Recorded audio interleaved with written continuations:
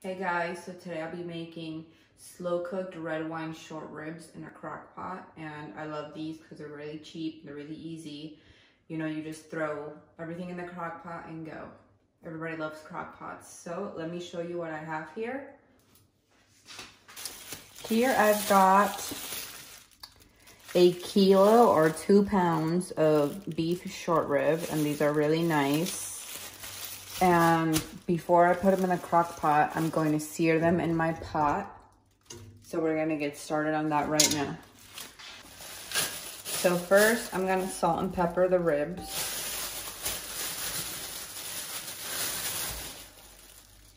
That's a big one.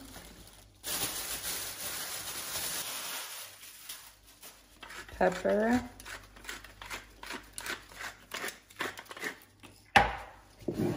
Then a pinch of salt.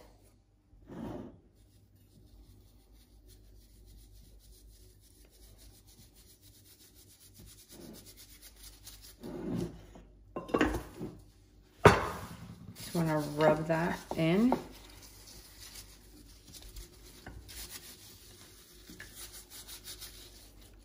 You want to rub your meat together.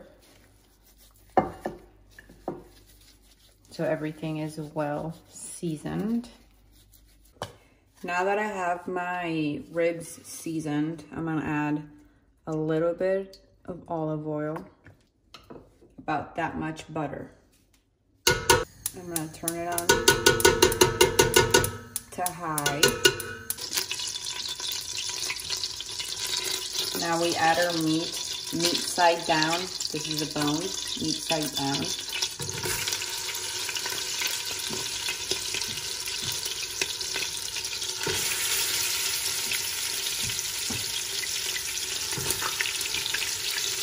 And you just want to sear it on all sides for about 30 seconds on each side.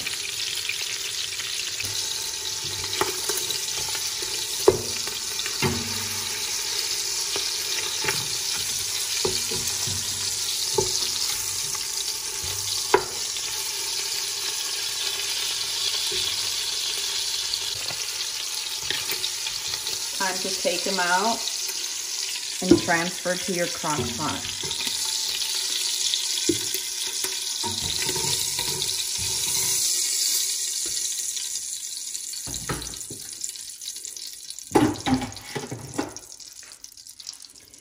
So in this same pot, you want to add the following ingredients.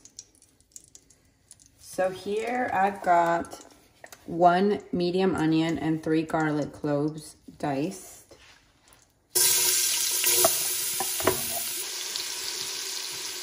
You want to add one cup of red wine.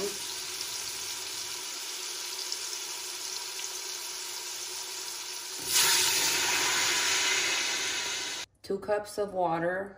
So one,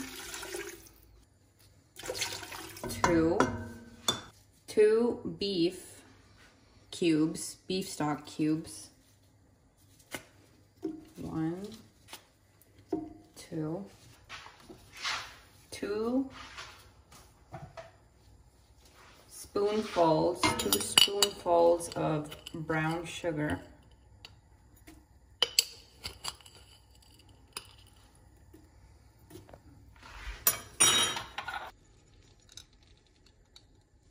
Three spoonfuls of tomato paste.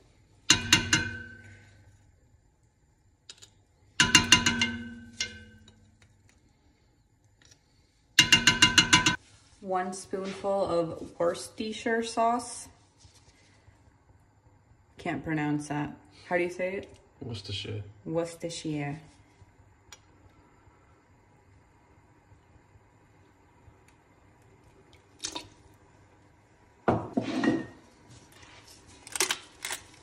Tiny bit of salt and a tiny bit of pepper. Then you want to add about this much of fresh thyme. And then you bring this up to a simmer for about 15 minutes on a low heat. So now it's been simmering for 15 minutes on a low heat. And I just wanna say that you don't have to do any of these steps. You can just go straight to putting everything in your crock pot and turning it on and going.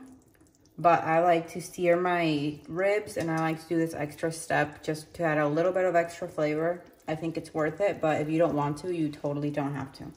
So now I'm going to turn the heat off and I'm gonna put this red wine mixture sauce into my crock pot over my ribs.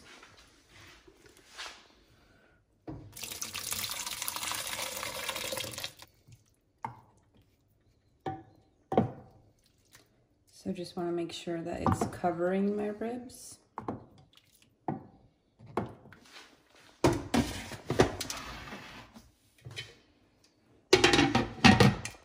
I'm going to put my lid on and I'm going to turn my crock pot on to high and I'm going to leave this for four hours. So after four hours, we'll come back and I'll show you guys how I'm going to serve it.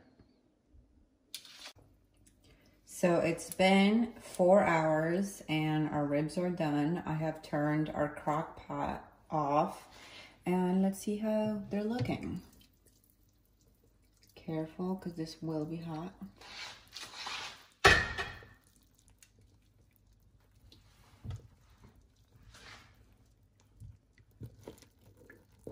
As you can see, they're very tender.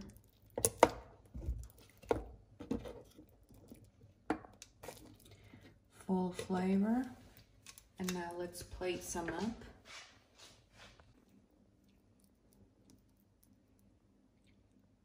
Here I just made some of my famous mashed potatoes, skin on mashed potatoes.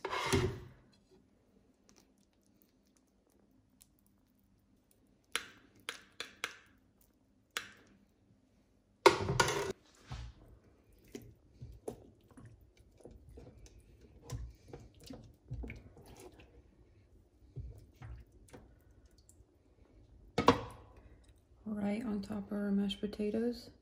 See how the bone just slid off? That's what you want. Some fresh thyme.